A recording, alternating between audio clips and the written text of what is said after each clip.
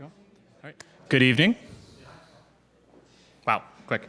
Hi, how's everyone doing? Uh, I'm Jason Farbman from Jacobin Magazine. Welcome to ABCs of Socialism. We're doing events all uh, every week in March. Uh, each of each event or each class or each lecture is is taking up a chapter from the ABCs of Socialism, the book, which was compiled by Bhaskar Sunkara and the editors of Jacobin Magazine. Verso Books published it. They're also hosting us here and running the live stream, so we really thank them for partnering us with us and hosting us tonight.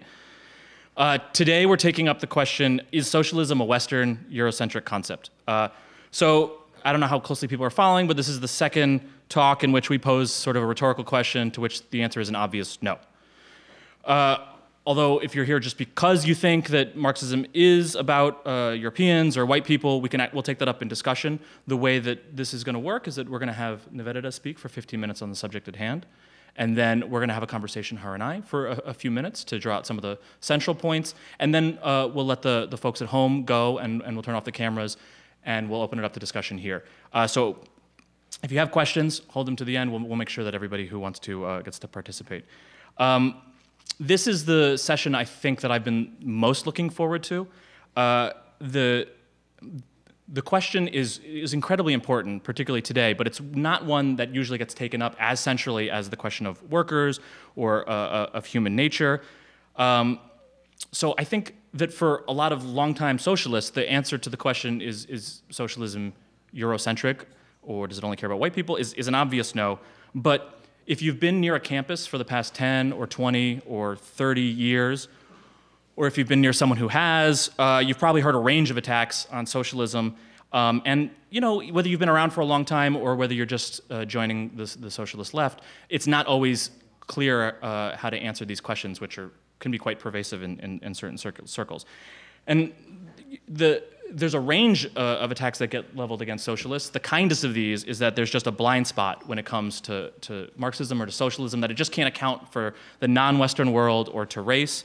And at worst, there are charges that socialism or, or Marxism in particular are, are racist or a form of, of, of racism. And these claims are obviously a huge problem for, for three reasons. Number one, because they're insulting. Uh, against people who are trying to change the world, uh, the charge that we've somehow ignored or don't care. About 80% of the global population is, is sort of ludicrous.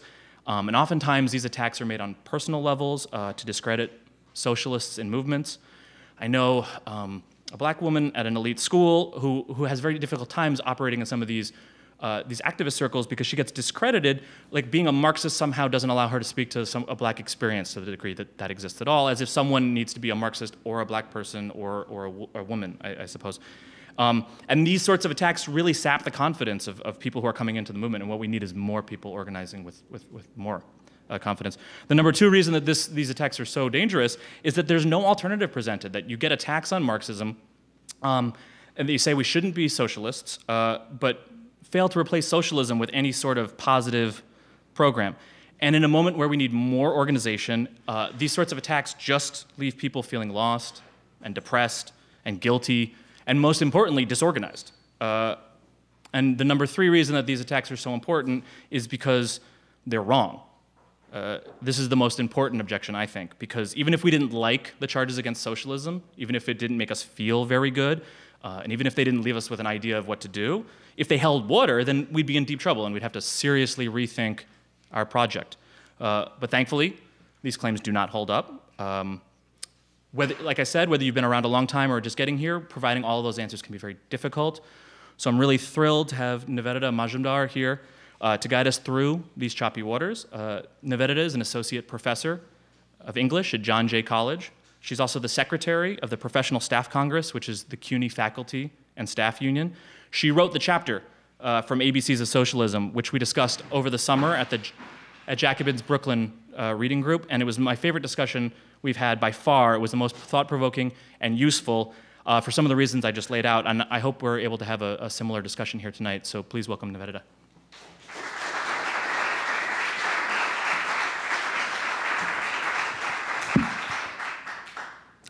Good evening, everyone. Um, and thank you, um, Jason, and the organizers of this series. And thank you, everyone, to, for coming out. Um, I was saying to Jason, it really makes me happy to see a room full of not just people, but young people coming out to talk about socialism. Um, it is highly unusual for anyone who is above 35. They know that this did not happen up until, I don't know, five years ago. So this is excellent. Um, so let's uh, talk about the topic uh, at hand. Is socialism Eurocentric? Um, best way to talk about socialism is to start with capitalism. Um, capitalism, as you all know, is a system that is fundamentally driven by the profit motive. That is at the heart of capitalism. All the unfairness, the ills of capitalism that we know of, low wages, poor work conditions, loss of workers' autonomy, retaliation against organizers, all of this come from the profit drive because capitalists want to make profit, therefore, all of that follows from that fundamental drive. Socialism emerges as a response to this fundamentally unjust nature of capitalism. If capitalism is rooted in the profit motive, socialism is rooted in the drive to fight for fairness and justice. Workers, against all odds stacked against them, always fight back. Socialism is about that fight and about the vision of a just order free of oppression and domination that animates that fight. So, if that's capitalism and socialism, the question for us is do these oppositional forces of capitalist exploitation and socialist resistance look different in different parts of the world? Um, in that chapter on, in ABCs of Socialism, I talked about um, the accident that happened in 2013 in Dhaka, Bangladesh, um, where 1,100 workers lost their lives in a garment factory accident when the walls collapsed on them. Very avoidable tragedy. Um, they knew that the building was crumbling, but they forced the workers to go work anyway. Um, I've been following that since 2015. Um, workers continue to try to organize for better wages, better conditions, and the retaliation against them is brutal. Um, in 2016, um, last year, last year, December, in fact, just a few months ago, um, several uh, thousand workers participated in a um, wildcat strike, and um, several hundred of them, after that strike, have been arrested and trumped up charges. Um, many workers, many, many more, have lost their job. So it's almost routine, this kind of retaliation. Um, and you know, Bangladesh obviously is by no means an outlier. Um, in March, um, so this month, in fact, earlier this month um, in India, the courts um, subjected 13 people in an auto factory to life sentence, their crime they were organizing, um, and several others for smaller sentences. So again, I mean, there is the Marikana massacre in South Africa.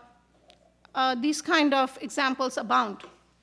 Question is, do these things in the global south look any different than what we see over here? I would say no, they don't.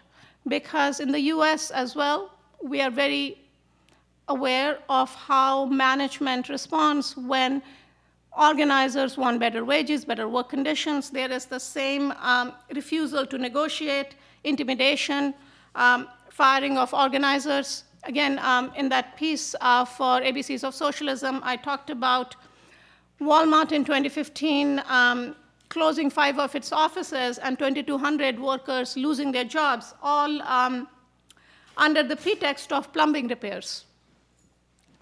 Um, so the retaliation may not be as, as naked, as brutal over here, but that's only because they can get away with it in that part of the world, and here they can't. And, but the drive is the same.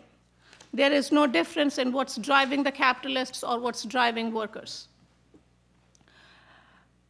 The charge that socialism is Western assumes that because of socialism's place of origin, i.e., the West, it loses relevance in the non Western world. The fact, however, is that workers are subject to the very same forces of exploitative work conditions, regardless of where they are. They work for bosses who are solely driven by, by the profit motive and have little incentive to address their needs. And workers everywhere also realize that their only option is to struggle if they want improved conditions, and thus, as I said again um, um, earlier, against all odds, they fight back. Now, it is not surprising then that since its inception, socialism has been fundamentally an internationalist thought in both its conceptualization and reach. This is the idea of socialism that animated Frantz Fanon in his battle against French colonialism, the communist Chris in the, in, uh, the anti-apartheid movement in South Africa, Amilcar Cabral as he fought the Portuguese, Walter Rodney in his activism for the disenfranchised across the Caribbean, Che Guevara in Cuba and Latin America. For them and countless others, socialism was a theory and philosophy no less relevant to their reality than it was to the reality of British or American trade unionists. When I think of socialism, I also think of M.N. Roy. How many of you have heard of M.N. Roy? Okay, two hands. Um, look him up. Not surprising, but look him up. Fascinating personality. He was born in the late um, 19th century in a village in Bengal. He uh, got radicalized in the Indian independence movement. And in his 20s, um, Roy left India to raise funds for an armed insurrection against the British. He traveled from Indonesia to China to Japan, then he was in the US for a while, all the time dodging authorities, making political connections, um, trying to raise both arms and money, um, and traveling in disguise for the most part. Um, he could not stay for very long in the US, um, again, because uh, he was being followed. And then he ended up in Mexico, where he got involved with the workers, organized workers, and founded what is today the Communist Party of Mexico. Um, that was in 1920, uh, in 1919, sorry. Um, in 1920, Roy also happened to be one of the founding members in Tashkent of the uh, Communist Party of India. Um, in his later life, uh, he went back to India, was jailed in horrific conditions, kept producing his writing. Now imagine how absurd the question whether socialism is Eurocentric is when you pose it in the context of the life of a revolutionary like M.N. Roy from the global south, who founded not one, but two communist parties. It's absurd, right? Now, the question is that it's still a question. Why? Why then has this question of whether socialism is Western gained currency at this time? I want to suggest that a perspective like this gains resonance only at a time of defeat. Four decades of unremitting neoliberal onslaught on the poor and working people, on wages, on the kind of public funding on, of basic necessities like housing, healthcare, education, that makes a decent life possible, and the decimation of unions and working class power in general has resulted in an eviscerated left unsure of its own legacy. In this context, the question emerges from an academic left, a left that has been devoid of the lifeblood of movements, the understanding of power and solidarity that movements bring into the larger culture. Without movements, um, there is not very much awareness of what it is that animates the working class. If you are not a working class person, if you are a middle, upper middle class person, you will not naturally gravitate towards the needs and interests of the working class unless there are movements. This is why movements are important. And this is why movements, in many ways, changed the landscape of this country in the 60s and 70s. They certainly changed universities. But since then, you know, there's been a long period of drought. So in academia, what we have today is a well-off class who have no reason to gravitate towards working class politics. They do have an interest, however, in retaining their class privileges. So what we have is a defanged radicalism unthreatening to power structures. The notion that socialism is Western emerges from this quarter. It takes the form of a radicalism that claims to speak for the global South and declares that socialism is unsuited to the realities of that part of the world. Western ideas like socialism, they argue, do not address the cultural experiences of the non West. It's an interesting position. But notice how such a position discredits socialism, right? It's creating a rift within the left, such as it is. But it is not a threatening position to anyone. However, it manages to appear radical because it claims to speak for the non West and claims to speak for an authentic non West. So it's managing all of that in one sweep. Pretty clever. This position is also part of a larger trend in academia of a turn towards issues of colonialism, race, gender, sexuality, and such. There's nothing wrong with this at all. You cannot be a socialist if you're not an anti racist, feminist, someone who is against every form of discrimination and indignity. The problem is somewhat different. It's that analyses of these issues have been largely divorced from the logic of capital and class struggle. To be clearer, what we get today is the anti racism of the privileged that is both unthreatening to power and disengaged with the actual sufferings of the poor and of minorities. We can talk more about this in um, Q&A if you wish about how it also stands to um, serve the interests of a particular class. Um, but I just want to um, quickly note here that uh, the left critique of Bernie Sanders' pres presidential run reflected a lot of this position, the critique that came from the left. A quick example would be Ta-Nehisi Coates's um, critique of Bernie for his championing of race-blind structural transformation like um, minimum wage or free college. Because Coates argues that those kind of universal programs um, only end up primarily benefiting, the, um, benefiting whites. Now, what such anti-racism ignores is the fact that the large majority of workers who would be lifted out of poverty by raising the minimum wage would be people of color, or that the benefits of free college um, would be enormous and weighted overwhelmingly towards working class blacks. I teach at CUNY. Um, you know, a university which I'm sure most of you know is 75% uh, students of uh, minority students. Um, also, more than half, for more than half of our students, their annual income is less than $30,000. Now, my students did not need any training in intersectional thought to um, understand that free college is in their interest. Why, is, why then this opposition to universal programs aimed at transforming structural inequities? And precisely the inequities that sustain racism. It's an anti racism, one that actually enjoys huge popularity in this era, that refuses to see capitalism as the primary driver of inequality. As a result, it's an anti racism that does not speak to the needs and interests of the working class working class minorities as well, naturally.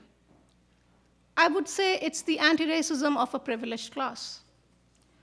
If you believe that a universal minimum wage is not particularly beneficial to poor people of color within the country, then you would, excuse me, then you would be similarly critical of socialist politics internationally.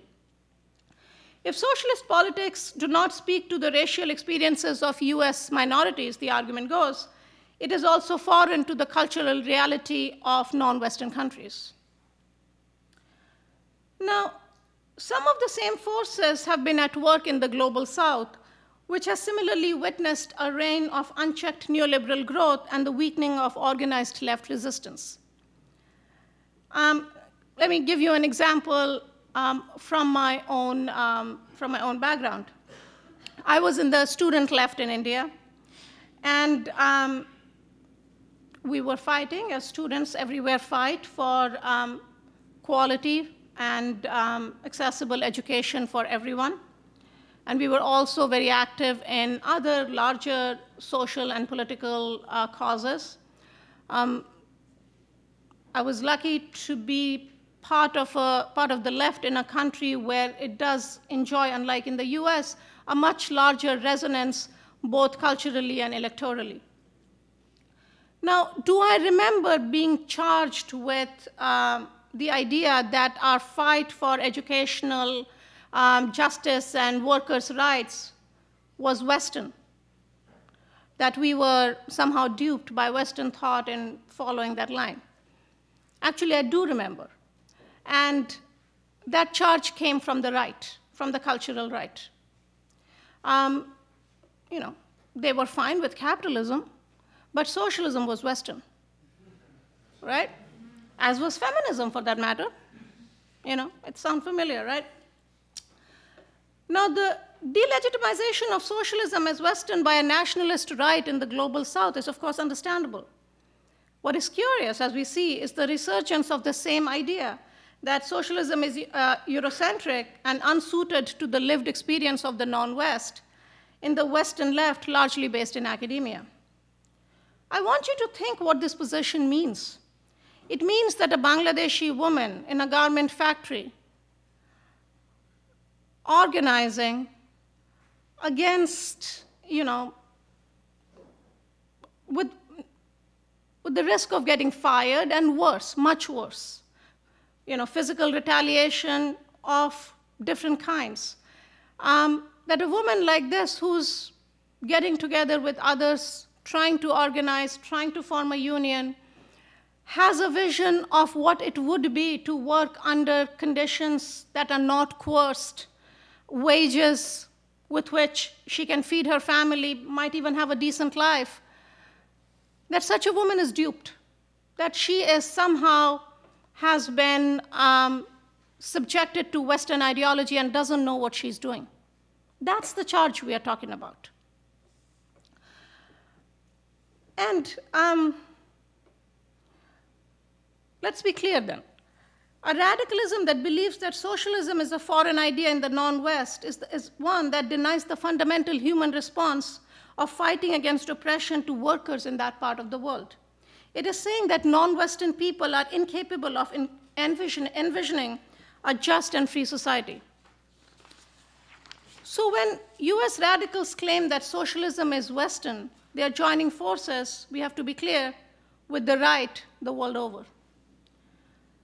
To embrace the universality of socialism is not to deny cultural specificities, and we can talk more about this in Q&A.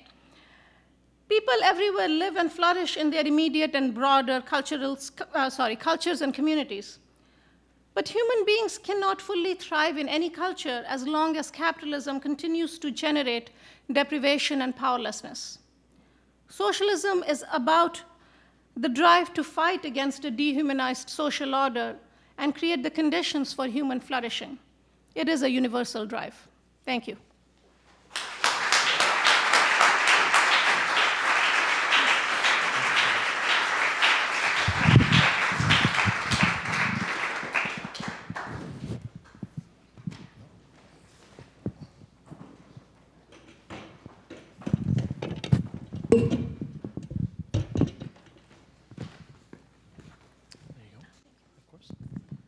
Thanks so much. Uh, sorry, so that was super useful. There's a ton of stuff that you covered. Uh, I, I'm going to try to draw out just a few points. Uh, you know, hopefully people will get a chance to, to listen to that again because I think there's a, a, ton in there. And then we'll, again, be able to draw more out in discussion. Um, so first of all, I just want to start with, uh, you know, a lot of the people in this room or at home listening or watching um, they may be new to socialist politics, but I actually don't think, given the prevalence of this, the sort of claims that, that you're describing, I don't think it's long before people encounter the claim that socialism is Eurocentric that, that we're discussing here. Um, and so the, the, you know, the accusation that first gets made against socialism as if it's sort of an abstract topic, then quickly gets wielded against socialists and, and to discredit them. So for people who have yet to encounter these arguments, I'm wondering, if you can briefly lay out what, what are some of the accusations that people will, will run into? Thank you. I think and this is working, right?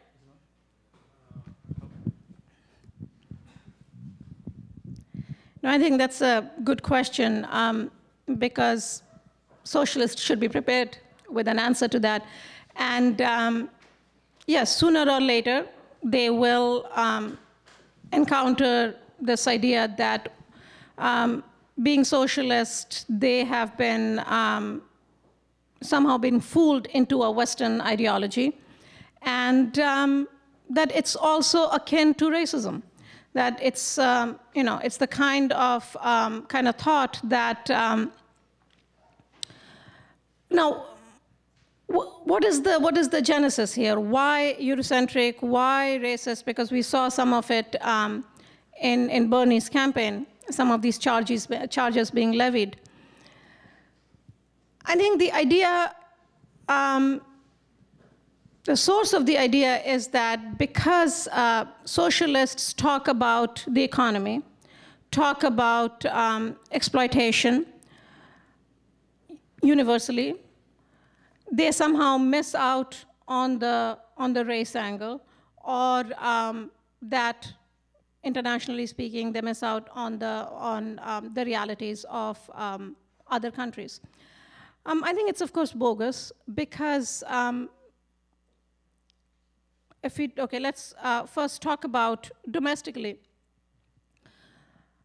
What socialists are saying is that um, inequality is produced from capitalism, from an economic system which very systematically exploits people, right? Um, and racism is something that feeds off in that system. It's not the same as exploitation, but racism is something that, that cannot be sustained beyond a point if, if it is a just system. Nor can you solve racism without solving poverty, right? And um, you know, so conceptual level, it doesn't work. Historically, as I was saying in my talk, all over the world, we have seen that socialism um, has inspired and mobilized millions all over the world in different kinds of movement. Um, and in this country, the civil rights movement was very much influenced by socialism. This is a new thing. This is a new thing where we are seeing that, um, you know, the, the, this sort of dichotomization of race and class politics is, is not something that has uh, that this country has always seen. It's, it's new, and once again, it's symptomatic of the ascendance of capital. Because, I mean, who stands to gain if, if you separate the two? If the system doesn't have to be changed, if all you need to do is hire more, uh, you know, black managers, hey, that's cool. That works for the system. So in the in the chapter in the ABCs of Socialism, you explain really well, and you, and you did this in your mm -hmm. talk as well, uh, why capitalism is a, it's a universal system, which tends to behave similarly in different parts of the world. Um, but you know, it's, it's it, it, you know what people are pointing to isn't entirely wrong. There are clearly observable differences between groups of people, right? This is what we call culture. Culture looks different elsewhere. So how can socialists remain committed to an understanding of capitalism as uh, operating more or less similarly and account for difference, right? How do we do both of these things? Oh, excellent question. Um, uh, yes, this idea that um, socialism generates homogeneity, it's, it's a very common misperception. Um, socialism has nothing to do with homogeneity. Um, having said that, before we talk about difference, I just want to take a moment, however, um, and talk about what socialism does believe in it does believe that um, human beings, when confronted with oppression, with coercion, do not like it. Not only do they not like it, they fight back. It is something that is true across cultures and across time. So, yes, we'll come to differences, but it's very hard to be a socialist if you do not believe in this common humanity of all people. What, I mean, you know, what are our, uh, what, what options do we have of not believing in this common humanity? If you don't, then either you are left with the idea of people who are completely individualized, atomized, um, or you are left with the racist premise that people are different everywhere. Both of them are demonstrably false. So there is a common bedrock of humanity, and socialism comes out of that. having said that, socialism, is, eh, socialism, the way I understand it, is primarily about creating the conditions for human flourishing and thriving. Of course, human beings have always lived in cultures and communities. That's where we are embedded, and that's where we will always be. But difference has to be predicated on equal access to resources. Otherwise, what's the point of difference? You know, oh yeah, great culture somewhere there in sub-Saharan Africa, and you know, they don't mind being poor. We would be, we would end up saying things like that. So yes, we, we, uh, we respect difference, we celebrate difference, but there cannot be that celebration without first making sure that we can live in, in conditions of justice and equitable distribution of resources. So I'm really glad you brought up that the, the point about sub-Saharan Africa because you know I, I spent a little little bit of time in the academy, and what, what I was struck by then and now is is how arguments about fundamental differences between the East and West are you know just all over the place, and this winds up making its way into activism, of course, in, in different ways. But you know, this is these are usually put forward by people with anti-racist intentions, right? right? Um, but the claim itself is actually, I think, fundamentally racist, right? And you know, I mean, if if you disagree, you know, say. But I wonder if you can address that that sort of tension. I'm glad you said it. Yeah. um, yes, I, I, do think it is racist. Um, since you spent some time in academia, and I'm sure many people here have. Um, I might briefly um, bring up Edward Said's Orientalism, right? I think most people are familiar with the premise that um, West, um, Western scholarship about the Orient, about the non-West, um, developed in a way that um, everything that the West was not was transferred into the east, into the transfer into the non-west. So for the west to seem enlightened, uh, to be progressive, the east had to be uh, the opposite of that. That that's how the non-west was um, was constructed in the Western canon, both um, in literature but also in sociology and other branches of knowledge. So so it was an you know an essential idea of east you do not quite get the reality of the East. There is a, uh, there is a gap between the actuality of the East and the representation that you see in the Western canon. That was, um, that was primarily Said's thesis. Fine. I mean, there might be problems with it, but you know, the basic idea, I believe, is true. Where do academics then go from there? Uh, once you see that, the response should be yes. So let us then tell the truth about the non West. Let us retrieve the histories of the non-West. Um, let us show the world that, you know, the non-West people struggle the same way, people love the same way, people have similar cultures or different cultures. Whatever it is, that that's where the thrust should be to, um, to bring out the particularities and the differences, um, the particularities and the similarities of the non-West, the histories of the non-West. Instead, what we have seen in academia is that um, they have taken the sides, they've taken Said's premise and um, kept it. They have said, yes, the East is East, um, and it is in many ways inscrutable as far as the West is concerned. However, the only difference is it's good. It's changed the value. It's, it's instead of saying that the West is, you know, this, um, this place of um, darkness and what have you, this is, this is what's happening in the East, and this is good, and it's the West that may or may not be problematic. So it's kept that structure intact, but just changed the valuing of it, so which doesn't, you know, make any difference. It keeps that racist premise intact of categorizing um, entire communities of people as different. You know, it, it's, it's also like uh, very similar to Huntington's um, uh, treatise that uh, of clash of civilizations, that there are discrete civilizations. So it's it's surprisingly similar, even though it comes from this you know liberal left group, as you're saying.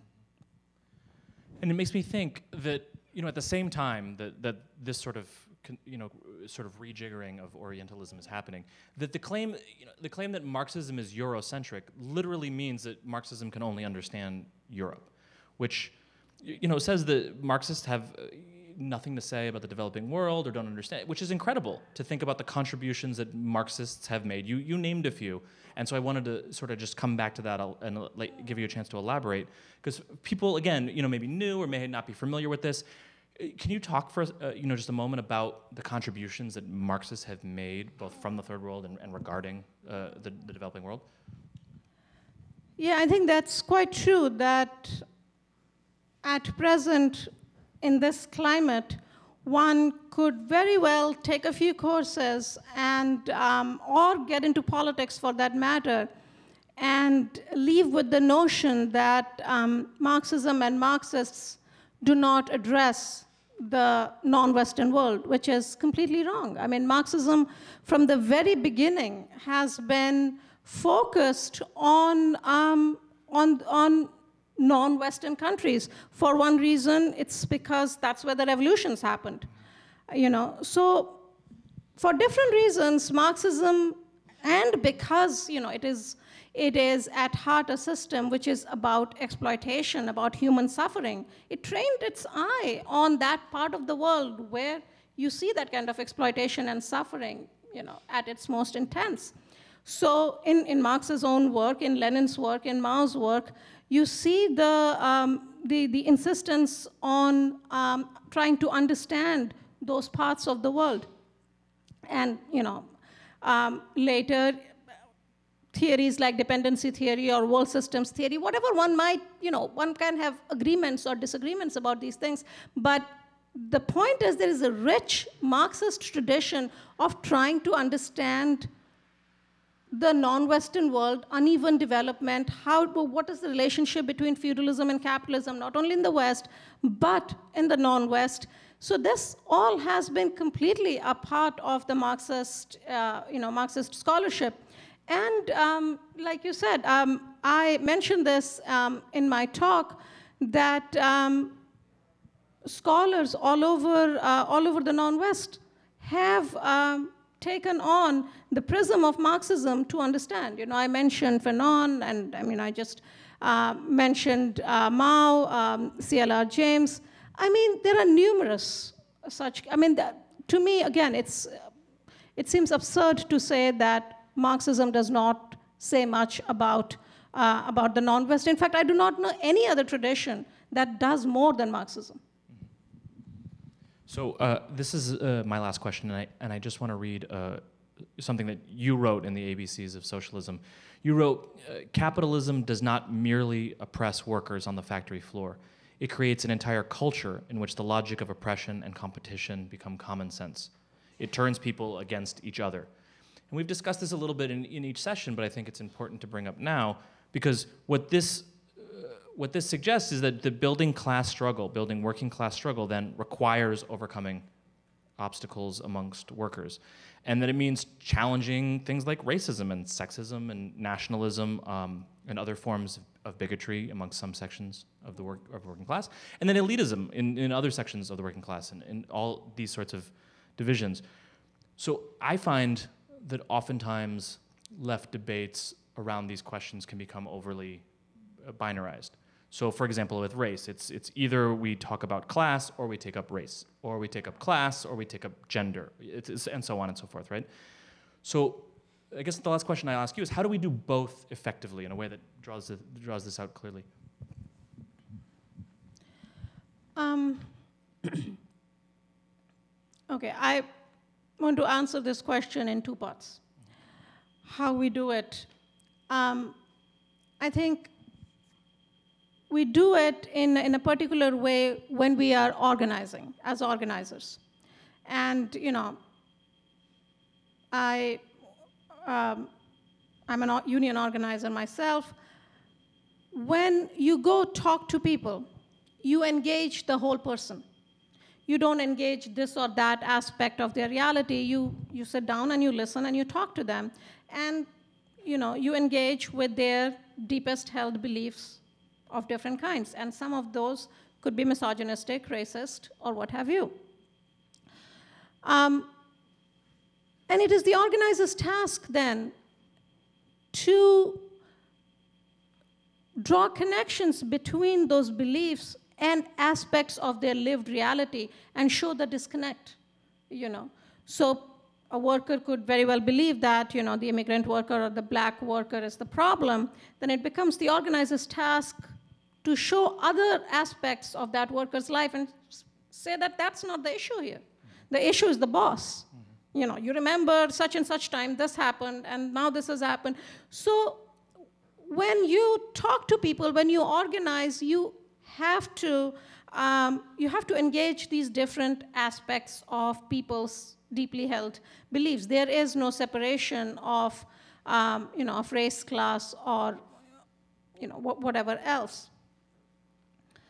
Um, having said that, I also believe, though, analytically, this is at the level of organizing. Analytically, we, also, we have to be clear as socialists, and I said this in my talk, that capitalism is the primary driver of inequality. So when we say that we want to do um, race and class, they are not at the same level. Yes, we want to get rid of racism. How could we not? But you cannot get rid of racism unless you understand and fight against capitalism. It is, it is a first, yes, it is a primacy, and people are afraid to say this now, people are apologetic, but I don't see how um, you can be a socialist without granting this primacy to the economic, to the economic. Um, so, so yeah, so that's you know that's at the level of um, that's at the level of analysis. Um, again, I mean to you know to um, maybe elaborate on it a little bit uh, on the question of race and class.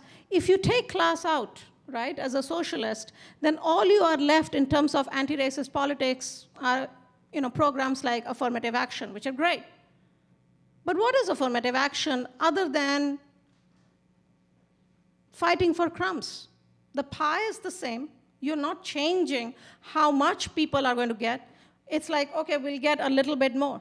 But unless you change capitalism and you enlarge the pie, not only enlarge the pie, but make sure that the conditions of enlarging the pie are in your interest, in the long run, you're not doing much.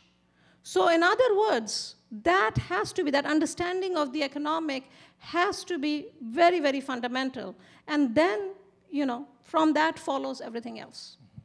Thank you. Great. Thank you very much. Let's thank Nivedita. We'll